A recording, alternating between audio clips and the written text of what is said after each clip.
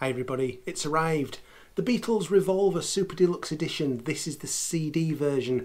I've still got the shrink wrap on. I'm going to open this up in a moment and show you exactly what is inside here. Uh, I did a song by, by song review a few days ago, which I know some people have deliberately avoided. Quite understandable because they want to hear the songs first. Uh, but if you do want to go and have a look at that, I will put links around to that. I'm also going to be doing a live listening party, uh, probably uh, in about a week's time, that which will be uh, about three days after release, probably on the Tuesday night, where you can join me. We can all hit play at the same time in our own houses, and we can uh, just enjoy the album together and say what we're enjoying, or maybe even what we're not enjoying. But I'm going to get the cellophane off this now, and we will have a look at what's inside. So here's a close-up of the hype sticker for you. The Beatles Revolver Super Deluxe 5C edition, new stereo mix by Giles Martin and Sam Okell. Two session CDs of outtakes, rehearsals, demos and studio chat. Original 1966 mono album plus bonus EP with Paperback Writer in Rain in new stereo mixers and original 1966 mono. A 100 page hardback book with a foreword by Paul McCartney, extensive historical and track by track information, rare photos and memorabilia. So here's the box now with uh, without the cover on. Now there's there's something pretty cool on this cover which I'm going to try and show you here. Uh, if it doesn't come up I will take some separate video to try and show it but it looks like the word revolver doesn't appear on that cover but if you get it in the right light which I'm trying to do and I don't know if it'll work it does show it at the bottom there. Uh, like I say I'll, uh, I'll show you separately if that hasn't come through. Uh, but the contents then slip out. In terms of style of case, this is closest to the Abbey Road uh, CD box set. Not absolutely identical because that had like a little cutaway in there, but that's really the only difference. It's a nice, nice hard box there with the album cover on the front. There's the side spine there, Revolver. Just some credits on the bottom. And then here's all the contents on the back. Okay, you can see a close-up photograph there of that so you can uh, read that at your leisure. But very nice they've done it sort of uh, very nicely in line with the revolver package that we know and love. So what was inside? Well there are two main things inside so I'm going to go through this and show you. First of all what looks like a vinyl LP but it isn't and we'll show you in a moment what's inside but there's looking like looking like revolver there this has got all the CD contents inside so if we open this up, it opens up a bit like a gatefold album. There's all the discs. So let me get each of these discs out and show you what they are. Uh, so first of all, there's Revolver New Stereo Mix. It's got stereo up in the corner there and looks very much like a replica of the normal Revolver album on the back, but has probably got a 2022 credit at the bottom. In fact, uh, no, it doesn't have a 22, 22 credit at the bottom. Uh, but there you go. There's your disc for the main stereo remix.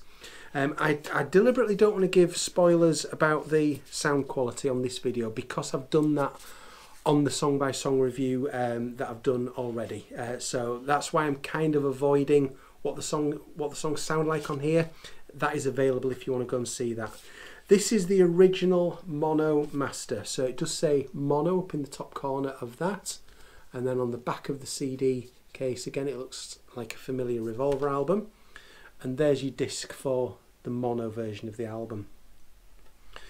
So certainly for the vinyl version, what we know for certain is that that is a fully analog transfer, direct from the master tapes. No digital involved in the chain, so they haven't they, they, they haven't uh, cut it to high res digital and then put it on the vinyl. The vinyl will be all analog. That is absolutely confirmed now. Uh, and it's a flat transfer from the original 1966 mono. So uh, if you've missed out on the mono version in the past, this will be a really good one to have. Uh, we've then got Revolver Sessions 1. So there's that great uh, kind of cover there that, that could have been the, the uh, cover to the album but was never used. And it's got the uh, contents on the back there. So I'm really enjoying the sessions uh, for this. Again, I don't want to give spoilers away in this video because I've kind of done it elsewhere. Uh, but I am really enjoying them and I think in terms of the different versions of the different anniversary editions we've had over the last few years, uh, I think that the sessions discs here are uh, are right up there with anything we've uh, previously had, in my opinion. We've then got Sessions Disc 2, so very similar but uh, a white background on there. And again, we've got the contents on the back. And there's your disc for the Sessions Disc 2. So that's four of the discs covered. The fifth disc is the controversial one, the Revolver EP, four tracks. So uh, this has got new 2022 stereo remixes of Paperback Writer and Rain, of course, being the singles from the era recorded during the same sessions. Uh, and it's also got original mono mix of those two songs as well, but certainly to my ears sounds newly remastered. Uh, there's the back of that particular cover. So the, it's a recreation of the of the Paperback Writer uh, 45 single from 1966, uh, and the CD is done to look in that style as well. So five discs there. Uh, I'm certainly enjoying it all at the moment. That's your five discs. We've also got this booklet. I mean, the booklet itself is worth quite a bit of money. If this was on sale in your local bookshop, this would not be a cheap book, but it's a good quality book there. The Beatles Revolver. Hopefully, again, if I just move it around, you might see that there's kind of embossed patterns on there that match sort of hair from the front cover from Klaus Voormann's great drawing. It says Revolver on the side and it's uh, clear on the back apart from the Apple logo. So I'm not going to show you all of this book uh, because, as I always say in these videos, if you're interested, I would encourage you to buy the uh, the package. But I'm going to show you some selected highlights from it. Uh, that that not being one of them.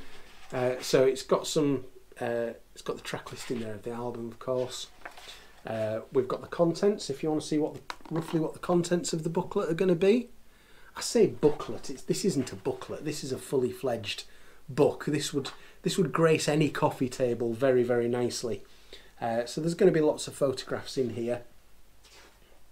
I'll try not to use the word booklet again because that's not what it is. We've got the foreword by Paul McCartney written in June 2022. Uh, that, of course, was Paul's 80th birthday and, and, and obviously then written around the time he headlined Glastonbury.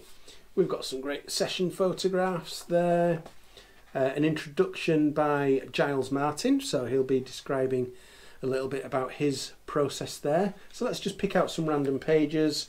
Uh, we've got uh, track by track adventures in modern recording, so we're going to be talking about the, the actual recording of the album there. We've got some more great photographs. Uh, and this particular page happens to be And Your Bird Can Sing, so there's going to be detailed notes about every song on the album. And uh, this, as well as going into detail about the the main song from the album, it also gives us some information about any sessions versions of that particular song that are appearing on the album, uh, when they were done, anything sort of special about the recording of it, that kind of thing. Okay, so uh, it's a really, really nice book. And then it's got some cool um, sort of cartoon type things towards the end. Uh, so that's pretty good if you want to have a look at that. You see the boys in the studio there, you see George Martin. So a really nice book. I'm guessing there's some credits towards the end as well. Um, yeah, we've got all details there about uh, sort of who did the mixing, who did, uh, who was involved in the project, basically. Uh, if you want to know that kind of information, and a nice picture of the boys' guitars there at the back. So, um, it's time now for me to slot this in with my other editions and let's have a look at how it looks sat alongside. If you're wanting to know, for example, for shelf space, how big is this thing, how deep is this thing, let's go and have a look. So there it is. First dilemma, and I worry about these kind of things. Where do I put it? Do I put it before Sergeant Pepper, or do I put it in the order that it's come uh, as part of the anniversary editions? I don't know, but it's staying here for now anyway. As you can see, this CD box is, I would say, roughly the same uh, uh, kind of width as the uh, White Album box from 2018. Not quite as thick as the Let It Be box, but it's the same depth. Uh, this is this is LP size, and I know they've been inconsistent of these uh, anniversary editions, but there you go. What what can we do? We can complain, but does it really matter at the end of the day? maybe it does to you, I don't know. But in terms of the depth, how far back it will sit on your shelf, you can see it's the same as the, the Abbey Road CD edition from uh, 2019. So there you go. It's uh, it's got its home there. And now my next worry is, what do I do when the vinyl box comes? Because there ain't no room for it in that cube. I'm gonna have to uh, gonna have to have a little shuffle around, I think. So don't forget, I will be back very soon with an unboxing of the vinyl version that I'm going to be getting hopefully roughly the day before release. So please join me for that. Let me know down in the comments, are you getting this box? What are you excited for?